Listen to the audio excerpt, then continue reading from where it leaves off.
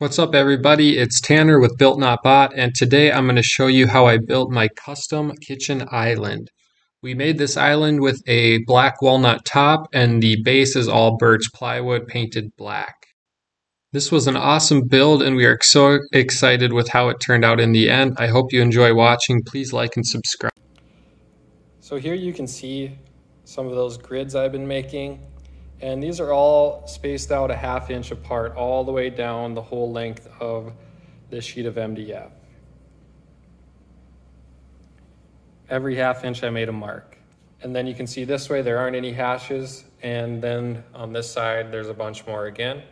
And like I mentioned earlier, this is all gonna be picture framed on the side. So this piece here is gonna stay flat. Then we're gonna start with our grooves going in this direction to give you an idea on what I'm aiming for here is something along these lines. I just threw this together real quick and I really like the spacing on it. Um, my jig did kind of slide on me a little bit. I just had a clamp on it. So there's a little bit of a difference in the gaps here, but we're aiming for more of a gap like this one here. I just need to come up with a way to make sure that this doesn't move at all while I'm routing it because if I get off, it's gonna look terrible. All right, so here's my plan. And I don't know if it's the best plan, but it's a plan nonetheless. And I'm gonna take my Festool guide rail and clamp it down. And this is the spacing that I need here so that when my router bit is sitting on here, it cuts a path right in this first section here. It might be over just a little bit more than I want, but I want to continue on this half inch grid line. So after I make this cut, I'll scoot this rail over a half inch in that direction and then reset it. The way I look at it is if I screw this up, I'm out a sheet of MDF, which nowadays is actually more expensive than it should be, but I hope it goes well because there's a lot of half inch lines that I need to run this router across. Wish me luck. One last thing, I added a stop block on the back side here and on the front side over there, just that piece of MDF. And that's gonna hopefully allow me to keep the groove stopping in the same spot all the way down the line. So I'll just have to move these stop blocks over as I'm working. Well, my first pass went really well. Stopping at about the same spot on each edge and everything went nice and straight and even. One thing that I should mention, so on your router, you need to know which direction the blade is spinning because when you go over here, you want it so that the blade is spinning towards whatever straight edge you're doing. Because in, in that case, it's gonna want to pull the router tight against the straight edge. If it was spinning counterclockwise in this case, it would want to pull the router away from the straight edge. So figure out which direction. Usually it's always clockwise and make sure you're orientating that so that when you're moving along here, it's getting pulled in tight to your straight edge.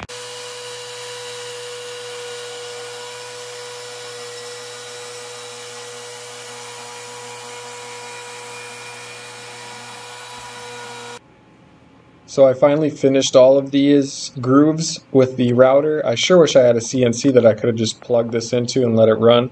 You can see in the middle here we've got one little hiccup where we had a miscommunication and got off track, but I plan on fixing that with some Bondo.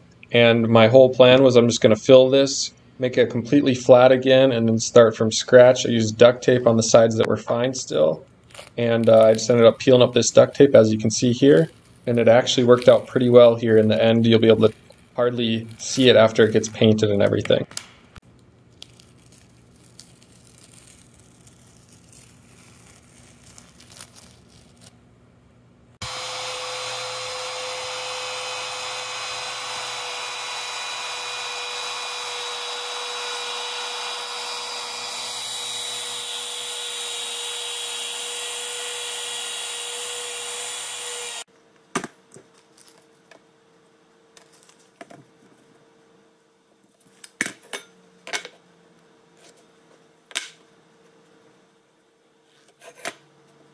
To start with the cabinet portion of this, I started with just notching out the uh, kick plate area for where your feet would go when you're sitting at the cabinets. And I'm just making three really simple identical cabinet frames. Uh, you'll see here I'm running the dado blade through to give me a groove from the bottom of my cabinet as well as the back, uh, the back wall of the cabinet as well, which you'll see later on in assembly. But if you have a dado blade, this goes really quickly and makes for an easy assembly.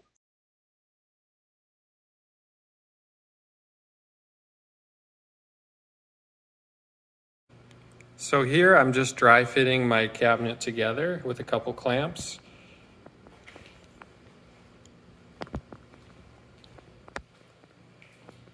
And on the back, you can see how this back panel sits really nice and flush with the edge which is perfect for what we want. Up next, I cut down these stretchers on the table saw. These are seven inches. Uh, you can really go whatever size you want. I wanted them a little bit larger for more strength and rigidity. And I'm gonna put one on the front and one on the back at the top of this cabinet. So there's gonna be one going across right here, the front, and then the other one's gonna go way in the back corner. And then I will pin nail or brad nail through the back of this into the sides, the bottom, and then the other side.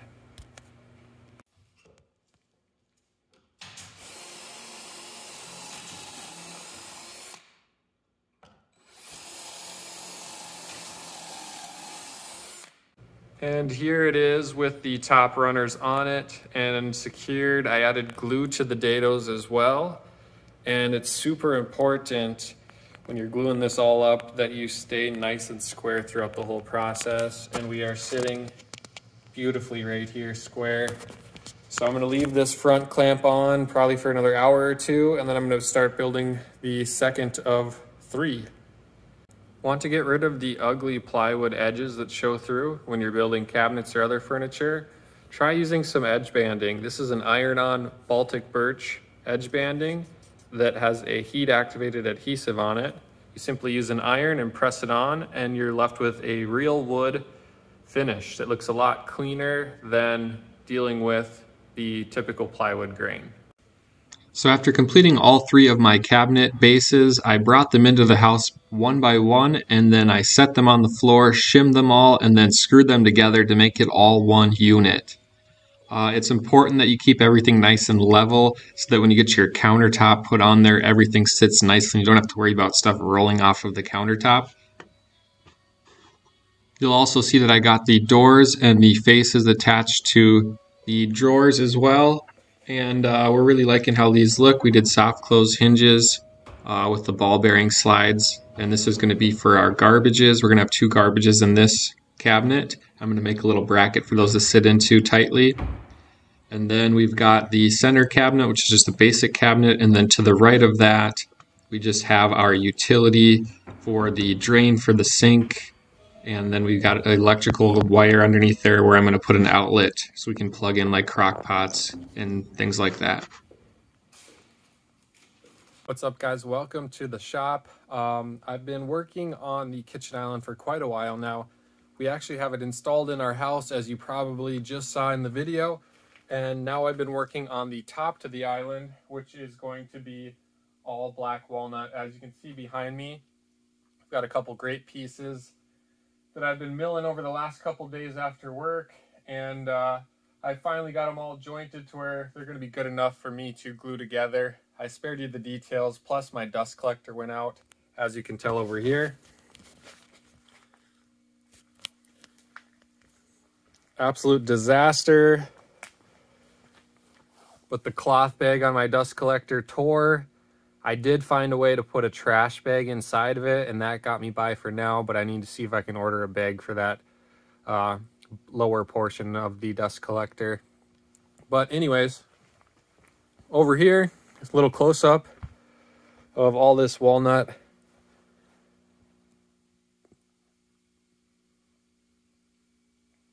I think I'm actually going to leave this little knotty feature here instead of like filling it with epoxy and smoothing it out. I think I'm going to leave it with a little bit of texture. This is going to be right where people sit and it's just a small amount. I'll sand it up so it's nice and smooth to the touch, but I really like the way that looks. And then over here, I kind of have marked out unofficially where the sink's going to go. There's just going to be a small little prep sink that goes right here. But yeah, spent a little time trying to get the grain match as best as I could. I really love this joint here. I think that's almost a perfect match. And then this one's okay. This one isn't the greatest, but I still think it looks cool. There's a little bit of this lighter sapwood that runs through here, but my wife actually really likes that little light accent wood in there. So we're gonna keep it just like this. I'm gonna run some dominoes in here and get it all glued up. So you can see here that I had to double up on my Bessey clamps. Luckily, I had these bar clamps I made a while back that were long enough to make the span, but I alternate these clamps on both the bottom and the top to get an even tightening pressure and to keep this nice and flat, which is the ultimate goal when you're doing a glue up. You can kind of tell by how that bar is sitting on it nice and flat that it's, it's doing what it's supposed to. In order to keep everything flat, I added some C-channel to the underside of this island top. I did two sticks of the C-channel and then used threaded inserts to bolt it in. This is going to ensure that it stays flat over time regardless of the seasonal humidity change. And here you can see a side view of how it is sitting at the moment. Here you can see me finishing the top with Rubio Monocoat Pure. I'm not sponsored by Rubio in any way, but this is my go-to product. I use it on virtually everything. You just simply wipe it on, let it sit, and then buff it off, and it gives you a beautiful finish every time. And here it is all finished up in our kitchen. We still have a little bit of work left to do in this house, uh, starting with trim work and baseboards, but we're making progress every day and I got the sink and the faucet all hooked up for the island, so it's ready to go when we're ready to use it. Again, thanks for watching, everybody. I greatly appreciate it. It means a ton to me. And if you've been enjoying my content, please like and subscribe. Have a good one, and we'll see you on the next build.